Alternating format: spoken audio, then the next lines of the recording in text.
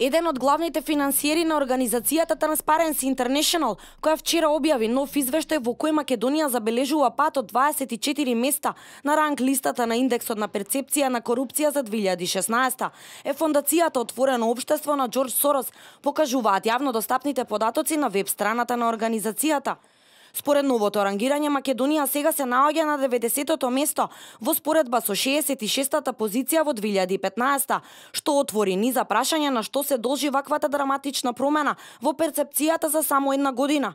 Сомнежите кај познавачите се дека позадината е политички мотивирана од финансиерот Сорос, Упатените велат дека еден од начините на кој действува Сорос е креирање на лажна слика и перцепција преку неговите меѓународни организации кои тој ги финансира, а кои вршат рангирање за повеќе сфери и области во различни држави. Во зависност на степенот на соработка со Сорос, државите кои се спротивставуваат на функционирањето на оваа организација се деградираат и независно од постигнатите реформи за да се дисциплинираат, се ставаат на дното на табелите кои подоцна преку нивните испостави и филијали во државите се представуваат како објективни параметри. Ваквото лошо рангирање доаѓа од како Груевски во интервју за Република од пред две недели објави дека државата бележи успех на индексот за борба против корупција, дури и на организација финансирана од Сорос како што е Transparency International. Груевски запрашан дали според него активностите на Сорос се повеќе насочени против него и неговата партија или во корис на опозицијата вели – Мислам и двете, и мислам и за второто не е свесен. Не е свесен дека овој народ во 2006 година беше паднат на колена со речиси 39% невработеност, највисока во Европа тогаш, и 32% стапка на сиромаштија, рангиран на 105-то место на неговата Transparency International.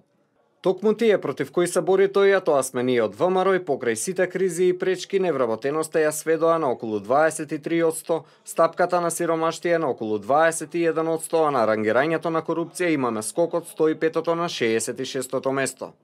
Испоставата на Транспаренси во Македонија ја води Слајана Тасева.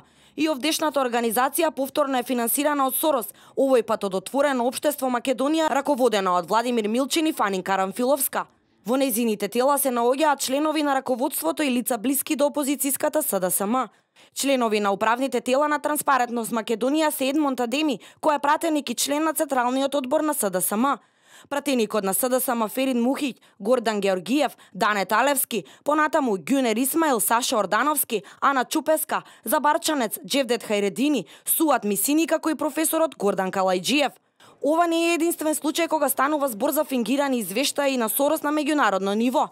Сорос делува и преку репортери без граници и Freedom House. Сорос преку своите инсталации го прави истото и во други европски земји, кои се ставени условно на неговата црна листа.